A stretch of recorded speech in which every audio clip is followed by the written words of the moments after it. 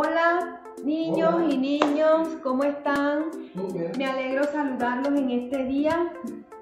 Eh, espero que hayan pasado una semana súper, súper excelente y que les haya ido muy bien en las clases y que hayan aprendido mucho. Bueno, como bien saben, esto es Ictus desde casa. Hoy vamos a aprender un nuevo reto y un título que se llama Atendiendo a nuestro prójimo. ¿Cómo se llama? Atendiendo a nuestro prójimo. Bueno, pero antes de eso, como bien saben, tenemos que lanzarle una flecha a Papito Dios, una oración. Bueno, sacamos el arco, sacamos la flecha y apuntamos hacia el cielo. Señor, te damos gracias por este nuevo día, te damos gracias por la vida, por la salud, por los alimentos, gracias por cada uno de estos chicos. Gracias Señor, porque tú nos permites hoy estar aquí aprendiendo más de tu palabra. En esta hora te pido que bendigas a cada uno de los niños, que los bendigas, que los protejas, que les des sabiduría y entendimiento y que te quedes con cada uno de ellos. Ahora te pido que seas tú bendiciéndonos cada día. En el nombre del Padre, del Hijo y del Espíritu Santo. Amén. Y lanzamos esa flecha duro hacia el cielo, así, que llegue a donde papito Dios. Bueno, como bien sabe, tenemos un voto y a todos nos debemos saber. Colocamos nuestra señal, la señal del hombro y decimos, como miembro que soy de la compañía Héroes y tú, prometo usar diariamente la fe de Abraham, la valentía de Esther, la perseverancia de José, la responsabilidad de Ruth, la obediencia de Noé, la esperanza de Débora y el valor de David. Y en el nombre de Dios y a favor de mi prójimo, yo prometo que así será. Bueno, como les había dicho, vamos a aprender, por aquí se los tengo, un título que dice Atendiendo a nuestro prójimo. ¿Sí? Vamos a decirlo otra vez. Atendiendo a nuestro prójimo. Y el reto del día de hoy es tratando heridas simples. ¿Cuáles son las heridas simples? Las heridas que nosotros podemos atender en casa. Las heridas que nosotros nos hacemos cuando estamos por ahí jugando, brincando, corriendo y eso. ¿Qué son heridas? ¿Y qué clase de heridas podemos ver? Vamos a ver unas, unas, unas cuantas heridas y es heridas punzantes, heridas cortantes, eh, raspones y contunción. ¿Qué son heridas punzantes? Es cuando estamos por ahí y caminamos sin chancleta, como acostumbramos, y vemos un clavo y ¡pum! nos pinchamos. O algo pu- cortapunzante y nos pinchamos. Nos podemos pinchar con algo agudo, con una aguja, con una tijera que a veces no son, no son romas sino punta aguda. Bueno, esos son punzantes, todo lo que se nos introduce en la piel. Que esas heridas nosotros las podemos tratar en casa. Cortantes. ¿Cuáles son las heridas cortantes? Cuando sin permiso de la mamá o del papá cogemos un cuchillo y nos colocamos a pelarnos un mango, un mango que esos que tanto nos gustan, una naranja y Cortar un limón. y nos cortamos, nos hacemos una herida. Esas son cortantes. Nos cortamos el dedito, nos cortamos a veces pequeñas particas de la mano. Bueno, esos son unas, eso es herida cortante. ¿Qué son raspones?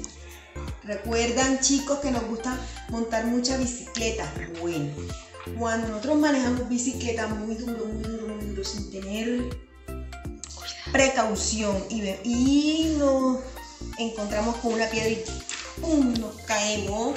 Entonces vienen los raspones, siempre nos raspamos en la rodillita, nos hacemos una raspadura. Y, o si no, también nos raspamos el codito. Bueno, esos son raspones que también nosotros podemos tratarlos en casa. Y, y podemos tratarlos perfectamente en casa. Esos son raspones. Contunciones. ¿Cuáles son las heridas contunciones? Bueno, recuerden que nosotros nos gusta jugar mucho fútbol. Uf. Cuando estamos jugando y nos caemos, nos golpeamos con el compañero y nos hacemos un chichón, un golpe que se nos coloca morado, así rojo. Bueno, eso es contunciones, un golpe. Ahorita yo les voy a mostrar unas imágenes más detalladas para que ustedes vean cuáles son estas heridas. Y así podemos diferenciarlas. Y también les voy a, mostrar un les voy a mostrar un videito y también les voy a mostrar cuáles son los implementos que podemos usar para curarlas que podemos utilizar para curar estas heridas en casa. ¿Oyen? Bueno, vamos a ver ahorita a continuación esas imágenes y qué se debe utilizar para curarlas. Bueno chicos, como les había dicho, que les iba a mostrar unas imágenes sobre las heridas. Esta es una herida cortante, ¿sí se dan cuenta? Cortante. Bueno, ahora vamos a ver la siguiente. Esto es una punzante. Si ven el, el cortapunzante?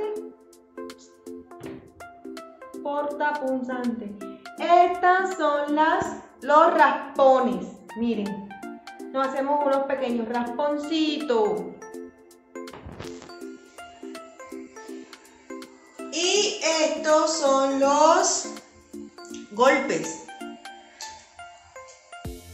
Mírenlos cómo se forman. Se forman unos hematomas, unos morados. Mira acá otro, otro hematoma. Los golpes. ¿Con qué los podemos curar? Mire, aquí tenemos agua oxigenada, em, isodine, tenemos espadagrapo, tenemos algodón, tenemos gasa y la tijera para cortar. Pero antes de hacer estas curaciones con esto, debemos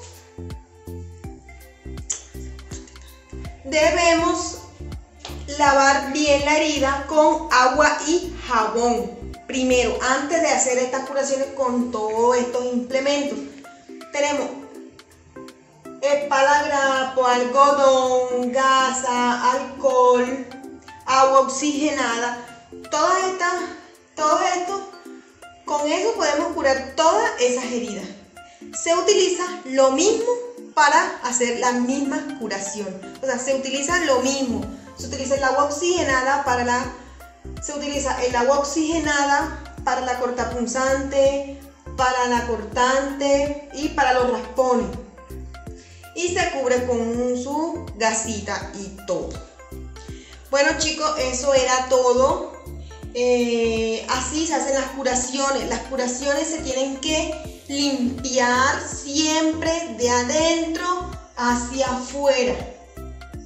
Así se deben de hacer las curaciones. De adentro se deben limpiar de adentro hacia afuera y después que se hace bien la limpieza, si es necesario se puede cubrir.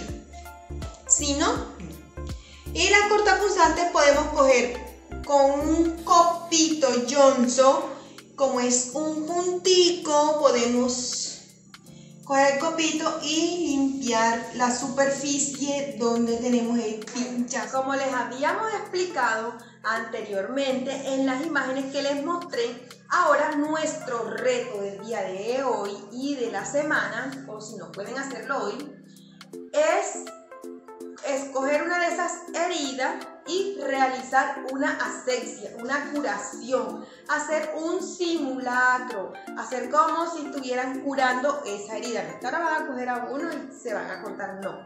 Es hacer un simulacro como si estuvieran curando. Y recuerden que nuestro reto del día es heridas, tratando heridas simples a nuestro prójimo. Bueno chicos, ahora vamos a lanzar nuestra flecha de despedida. ¿Qué es? Sacamos el arco, sacamos la flecha y apuntamos muy alto al cielo. Señor, gracias te damos por este día, gracias porque pudimos aprender cosas nuevas. Te doy gracias por cada uno de estos niños que pudieron estar eh, hoy en Ictus en casa. Te pido que los que no pudieron estar les permitas estar el próximo domingo. Señor, bendícelos hoy y siempre. Bendice también a su familia y también dale sabiduría y entendimiento para sus estudios. Ahora te pido que te quedes con cada uno de ellos. En el nombre del Padre, del Hijo y del Espíritu Santo. Amén. Y lanzamos esa flecha muy alto que llegue a donde Papito Dios. Bueno chicos, esto fue todo por el día de hoy. Me alegró haberlo, eh, bueno, no visto, pero sí me alegra haber estado con ustedes, haber compartido y haberles enseñado un poquito sobre eh, las heridas. Heridas simples. Bueno, chao.